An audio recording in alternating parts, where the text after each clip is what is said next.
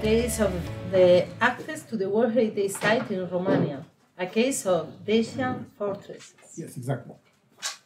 So, dear colleagues, uh, my topic, um, uh, I think it's actual, even if we are in 21st century and the question of access, uh, it sounds some some some uh, thing like a, a, strange issue, but um, I will demonstrate in my presentation that it's, uh, it's still actual in some specific cases or in some specific landscape situations. So Romania, among other countries, of course, uh, are part of the UNESCO Convention, and since 1990, and um, between 1990 and today, Romania succeeded to inscribe eight sites, two natural and six uh, uh, culture. And now the government and the Institute of, Institute of uh, Cultural Heritage updated the, the indicative, uh, the tentative list. Um, should be 19, but it's still 15 because they didn't uh, inform the World Heritage Center to update the information. So we are still waiting for updating. So this is the table about the World Heritage Sites of Romania, inscribed uh, years and also the criteria.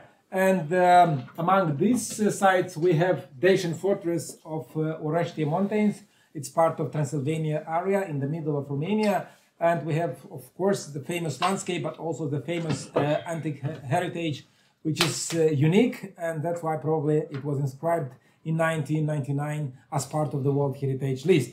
So um, between or since 1990, Romania did some steps uh, to uh, implement, not just to sign the convention, but also to implement convention, and they uh, changed some some uh, some laws. They approved some rules, uh, but still today uh, a new updated regulation or the, the list of regulation concerning the World Heritage sites it's under discussion already for the last two years.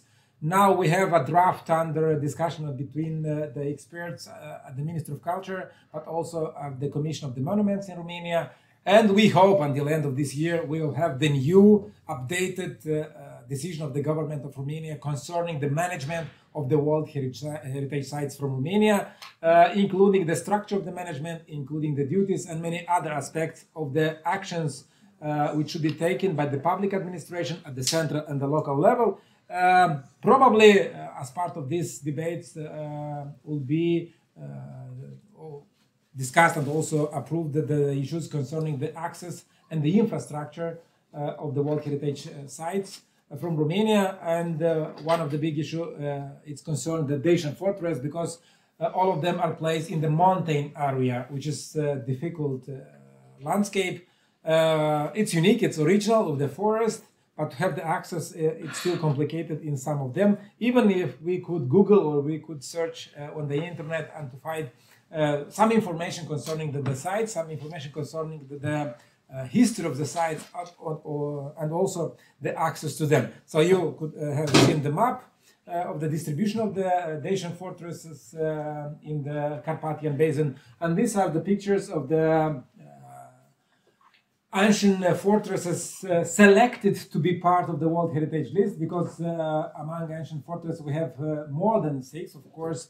And uh, when it was decided, discuss why just six, of course, uh, what the question was, what which we discussed already, to be representative, but also to um, respect the, the UNESCO rules concerning OUV, but also authenticity and integrity of the site. so from the, the the map and from the pictures, of course, they are original, uh, but to go to find the remains in the forest, it's not so easy.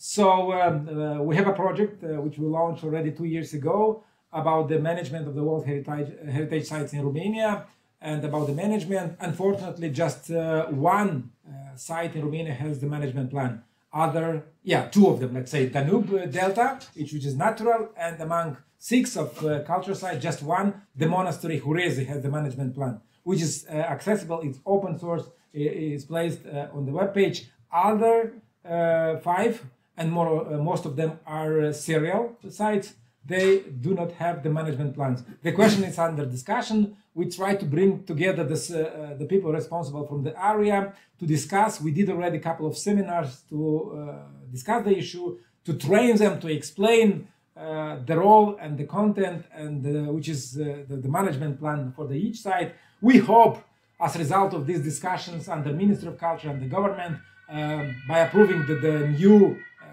decision of the government, they will enforce somehow, they will force the local authorities to uh, open the, the question and to uh, develop the management plan uh, of the each site. So access, it's more or less easy because uh, you, if you open the, the, the, maps, if you open the, the different applications, it's easy to put, for example, Căpâlna, uh, UNESCO or the World Heritage Sites Romania, and uh, the, the, application will give you the, the, the ways.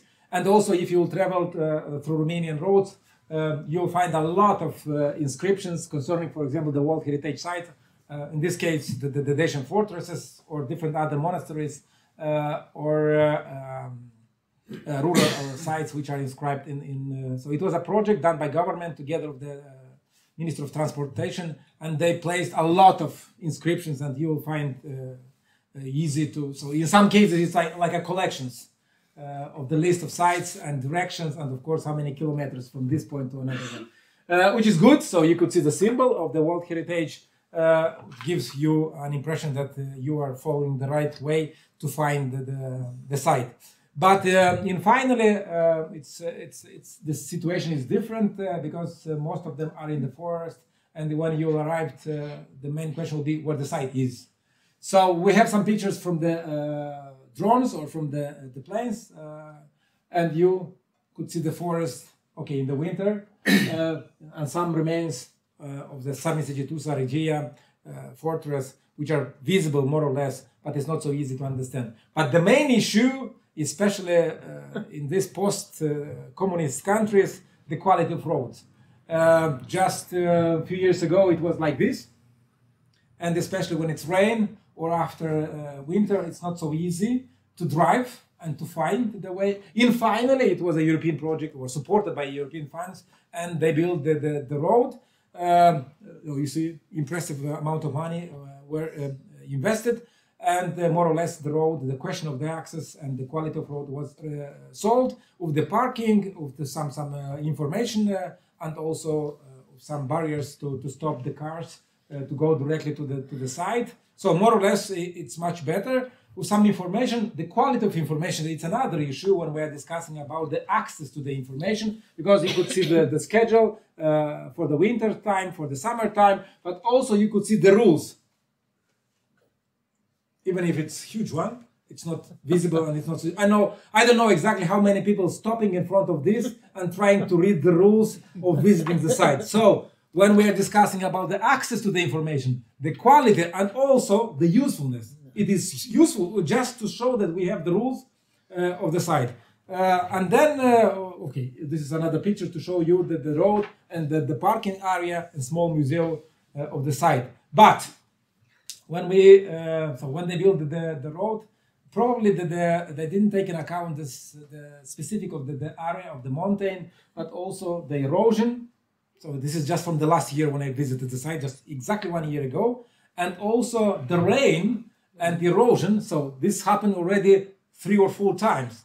Uh, last year twice and this year in the spring the second time. So the quality of road uh, it's not the best one and you could see. So from the mountain are coming the water and the trees and the, everything, and also erosion from the, the, the, river area, also destroying the quality. Uh, infrastructure issue also it's an important to, to, visit the site, especially the natural site or the mixed site or the serial site, to have all necessary uh, elements for, for the visiting. Toilets are placed exactly on the road area. So it's easy to have the access, but we have also to take in account the effect and the impact. And also uh, security because here it's exactly the the end of the, the, the yeah.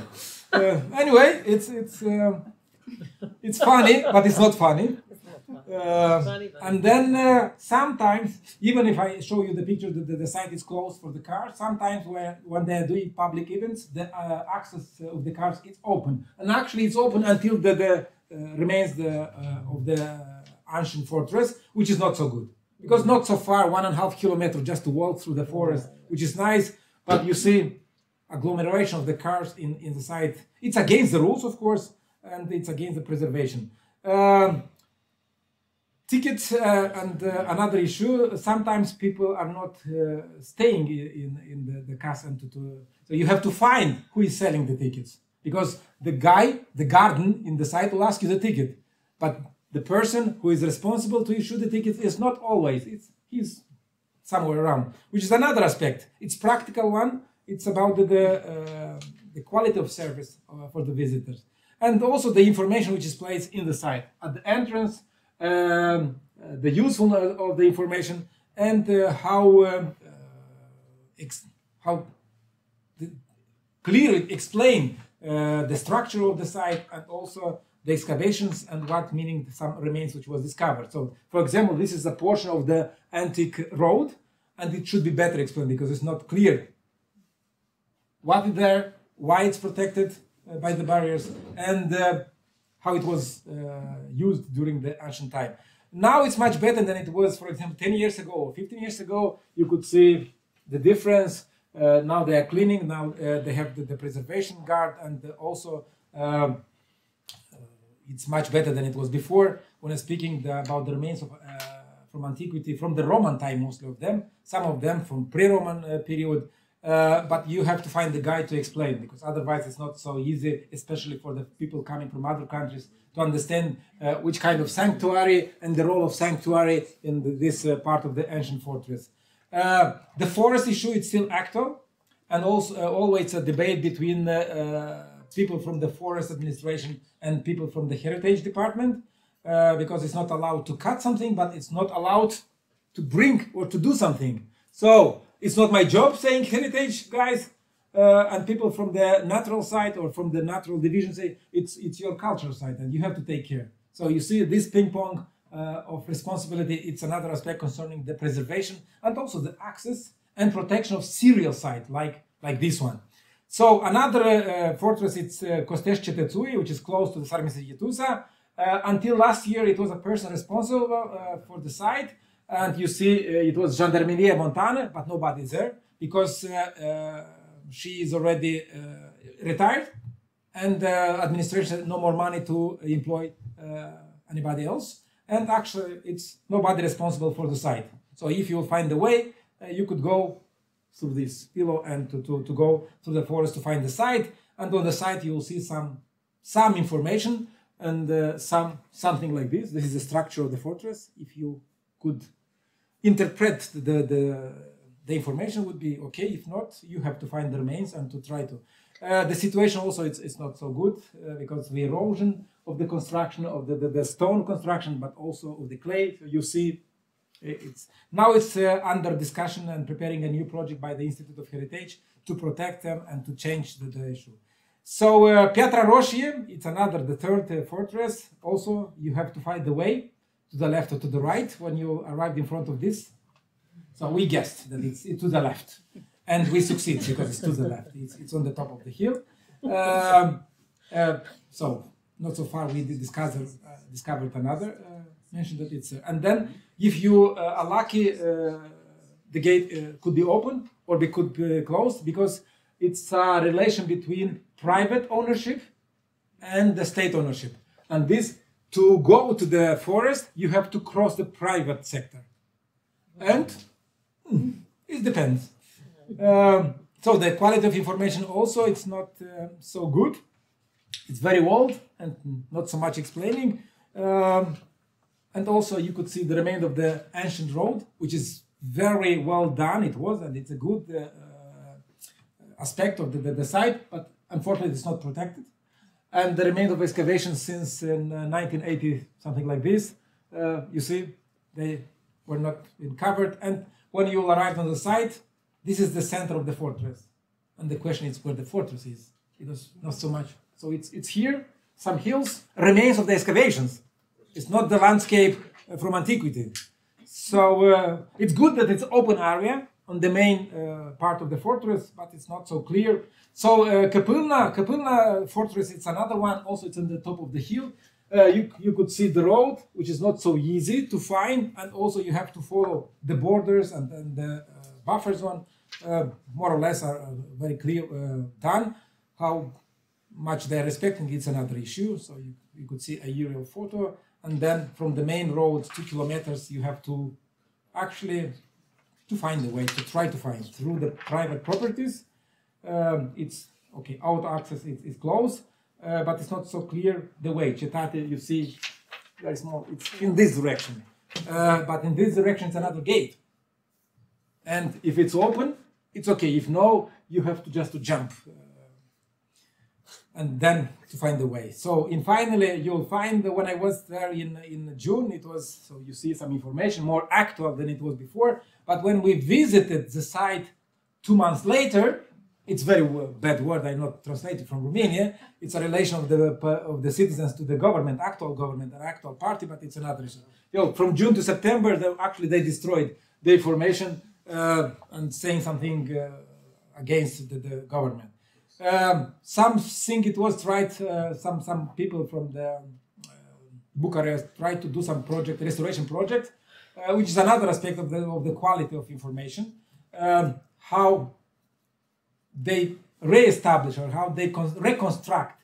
Uh, so they use the imagination, and that's why uh, we discussed we have to use the experts. Who are experts is another issue, but we have to ask archaeologists, architects. We have to analyze and to build the project not like this because it's not to the, the, the goal is not to rebuild or re, uh, uh, rehabilitate uh, of the fortress according to general knowledge from how it was in medieval time, how it was or how it is in some parts of the world. Uh, it should be adapted to the local realities and to be taken into account the uh, results of the archaeological excavations. Blidaru, uh, it's another fortress which is much better of the others. Also, yeah, I will finish. Yeah you could see the access. Also, you have to jump, really, to this, uh, and to go in the fortress to see some some some remains. Uh, more or less, it's clean site because it's one guy is responsible and trying to, to, to protect the site. Uh, but the, uh, the last and I think the worst case, Bănița, uh, from the road you could see the inscription, the World Heritage, Cetate Băniță is just in front of you, It's just in front of you. It's exactly on the top of the hill. And here it's the railway, and then no more ways to find the fortress. You have to guess. Okay, my first, uh, uh, when I tried firstly, so I didn't uh, find, because you have to go through the uh, railway and you have to be careful because it's active one. And in front of you could come, or behind of you, and you have to jump to the left or to the right so through the forest, you have to go and to try to find some remains. So in finally, I arrived on the top of the, the mountain, but my question was where the World Heritage is, site is, because nothing through the forest is visible, and uh, it is World Heritage site. It's not just some uh, remains of the constructions. I don't know, various period of time. So that's why I think. Uh, access to the sites and also uh, preservation should be part of this sustainable development and should be discussed of the uh, people from the local to the national level to uh, find the best way for uh, giving the access, for explaining what it is. And also, uh, it is a question about the real situation and the future development of the World Heritage Site in Romania. That's why through this project we are trying to raise the questions, to try to open the eyes of the responsible people from the local area uh, to, from, to the national one and to accept the reality and after that to try to find the solutions for each case separately and also to the, develop the management plans uh, because the management plan it's a real tool for preservation, for the tourist development, and for sustainable development. Thank you so much. I hope I understood.